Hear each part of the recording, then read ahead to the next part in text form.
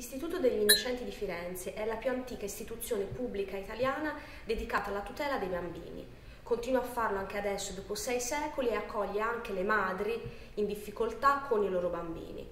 Specificamente la mission dell'istituto sarebbe questo, promuovere e tutelare i diritti dell'infanzia e dell'adolescenza, valorizzare e conservare il suo patrimonio artistico, monumentale e storico e essere di modello di buon governo e qualità gestionale. Bene, da un anno a questa parte ci sono un po' di problemi su quest'ultimo punto perché ci sono due procedimenti in corso da parte della Procura di Firenze e da parte della Procura regionale della Corte dei Conti. Attualmente quasi ogni giorno l'istituto viene visitato dalla Guardia di Finanza per alcuni accertamenti, quindi evidentemente l'ultimo punto della mission non viene rispettato ed è subentrato questo problema da quando la politica ha iniziato a occuparsi della questione che riguardano l'ospedale degli innocenti di Firenze. Noi abbiamo presentato un'interrogazione molto specifica di sette pagine puntuale su una serie di irregolarità che sono emerse anche dai procedimenti e che riguardano prevalentemente l'assegnazione degli appalti e il modo in cui sono stati gestiti i soldi per la creazione del nuovo Museo degli Innocenti. È prevista l'apertura di questo nuovo museo per il 23 giugno del 2016, in realtà doveva essere precedente, a aprile 2015, eppure già da quell'anno erano state segnalate da parte di alcuni dipendenti delle gravi irregolarità al Consiglio di amministrazione, al Collegio dei Revisori dei Conti e al direttore.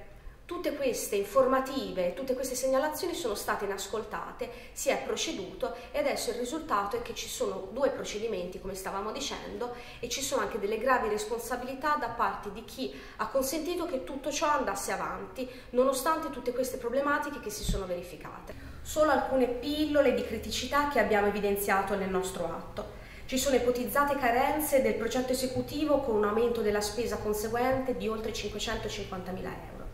C'è un accordo bonario alla ditta per 450.000 euro per opere extracontrattuali che sono state ordinate a lavori già in corso. C'è un affidamento dell'incarico al responsabile unico del procedimento che non possedeva i requisiti di legge e al quale è stato affiancato quindi un'altra persona con le conseguenze che immaginate dal punto di vista del ricarico economico riguardo l'incarico ad un'altra persona. Quindi noi in seguito a queste e molte altre criticità che sono elencate dettagliatamente nel nostro atto, noi facciamo una richiesta specifica a Enrico Rossi.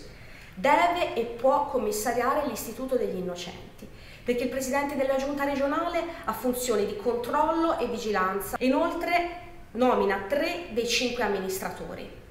Quindi l'atto che noi chiediamo a Rossi, date le criticità, date i due procedimenti in corso, a nostro avviso è un atto dovuto ed è molto grave che non abbia già provveduto e se provvederà che provveda soltanto perché è stata la minoranza a fargli notare quelle che sono delle carenze che ormai sono evidenti a tutti. L'Istituto degli Innocenti ha per sei secoli avuto un'attività meritoria nei confronti dell'Italia, della Toscana e del mondo intero. Noi chiediamo che questa eccellenza di cui siamo orgogliosi venga tutelata e non venga ridotta a mercimonio dei partiti o di chi che sia voglia fare il proprio interesse, perché veramente sarebbe un grave scadimento per quanto riguarda tutto ciò che è la realtà toscana e italiana riguardo la tutela dei bambini e dei giovani.